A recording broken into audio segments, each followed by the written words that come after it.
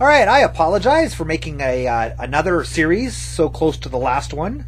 Um, but I, I saw another episode of Carl Baugh's Creation in the 21st Century, another one with Ian Juby, um, that I found so deeply offensive that I had to make a response to it right away while it was still fresh in my mind. There's actually another episode starring another creationist as well um, that I'll get to probably pretty pretty quickly. And I don't know how long this one's going to be. Uh, the original one is in three parts, and this is Ian Juby. Uh, it's called Down from the Trees, and it's Ian Juby on human evolution. So you you know you can kind of see why I got a bit excited to see it.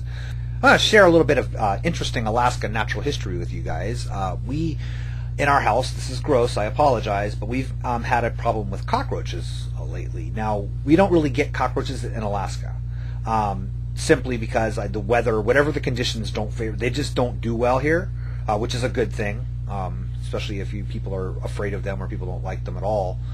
Um, I think they're kind of disgusting. Uh, but what what is interesting is what happens is they they'll they'll, be, they'll get shipped in with goods. So if you you know buy your you know go to I don't know big stores and purchase uh, you know items, um, especially in bulk packaging. Sometimes there'll be cockroaches that you didn't see, and they'll get loose in your home, and they'll be they'll they'll sort of run free for a couple of days, and then they'll die off. Um, you know, you can either let them die off on their own, or you can go, you know, on another bug hunt. Uh, they're and they're not really that. I mean, they're not that bad. I mean, they mostly come out at night, mostly.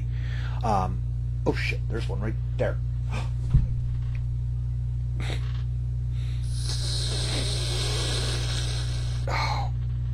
God, I hate those things. Anyhow, so I'm gonna just get to the series here. Again, he's he, this is him talking about human evolution. So I hope you guys enjoy. I welcome today a dear friend and longtime colleague in research, Professor Ian Juby of Canada. So to repeat from my last series, I really, really resent uh, that Carl Baugh feels the need to throw out the term professor the title of professor onto Ian Juby. Um, Ian Juby does not have, in any capacity, any of the academic educational qualifications to to begin to be a professor. Okay, um, from what I understand, he's got a a certificate of completion from a Votech school. Okay, and there's nothing wrong with that, but you don't take that and call yourself a professor from it. Okay, it's simply not. You're not. He's not qualified to teach at any university at any level. So uh, right there, it, it, it's it, it bothers me, especially because like I was a professor. Okay, I was a professor for many years um, in the U.S. sense of the term, not in the not in the uh, European sense of the term, as I have not earned my PhD yet. I'm still completing it. I'm still writing my dissertation. Um, and, and, if you guys don't know, in um, the United States, the term professor means that you are on a tenure track position at a university um, or college. In Europe, it's that same thing, except where a PhD is required. Before, if you have a master's, you can still teach, but you're a lecturer as opposed to a, a professor. Um, it, it's not as strict in the United States. But either way, Juby doesn't fulfill any of those definitions, even even slightly. So, um, just like when he calls him researcher, okay, what's he researched? Where's his papers? Any peer reviewed papers? None. Okay, so he's not a researcher. He's, I mean, he's just another creotard out there spreading a bunch of lies and bullshit. And by the way, that reminds me, since I use the bullshit term, uh, anybody who's offended by foul language, you might want to stop the series now because I am not. Uh, this this one, just watching it, just cutting the clips up to make this thing, I was sounded like a like a I don't know a Tourette's sufferer. I mean, he just he because he's talking about human evolution and he says just the shittiest things about really really good scientists. Um, and again, you know, g- given his qualifications for anything, uh, he doesn't have the right to. He, he, I don't think he deserves to even be able to mention these people's names, let alone make fun of them, call them idiots, uh, or whatever. You know, these these things. So that bothers me a lot. So I'm going to be uh, pretty angry during this. Um, anyway. You know, the inference is that uh, we came from lower primates mm-hmm. through the trees and finally jumped down and uh, put on a suit and became a PhD. yeah, that's right, Mr. Baugh. We came out of the trees, put on a suit, and gave ourselves a PhD, right?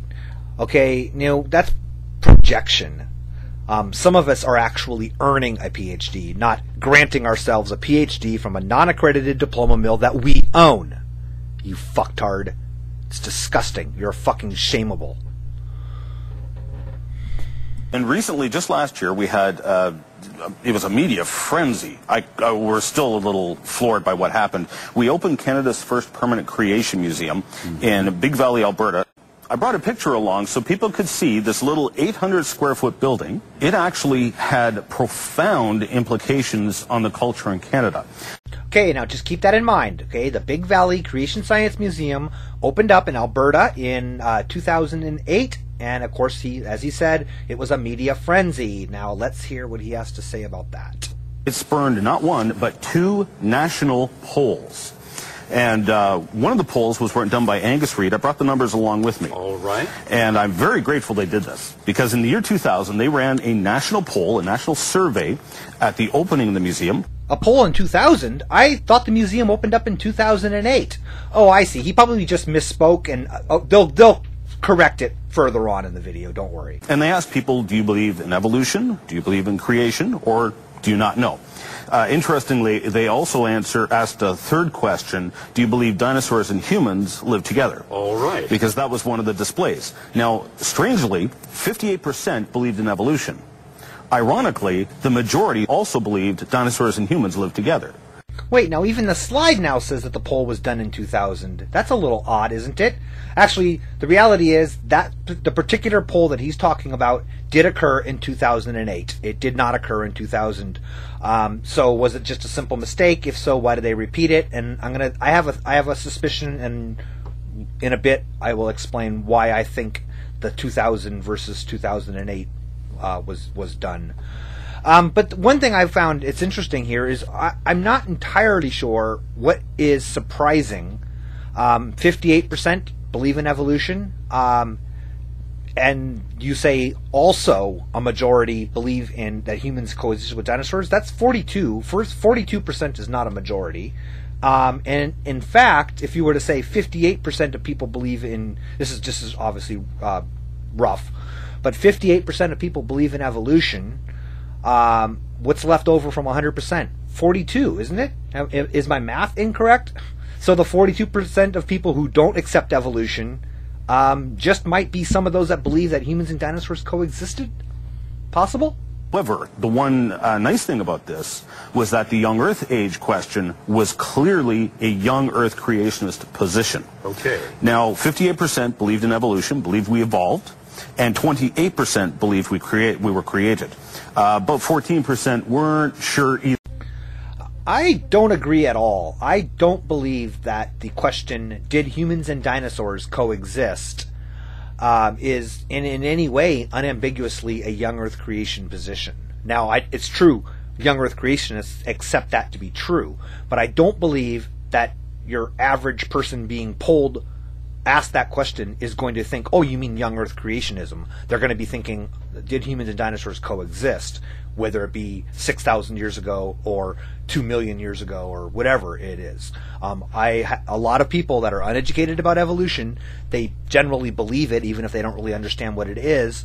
Um, but also believe in, you know, Flintstone style that humans, cavemen, and dinosaurs live together. So uh, it's not a. Um, it, it's not as clear as you're making it out to be.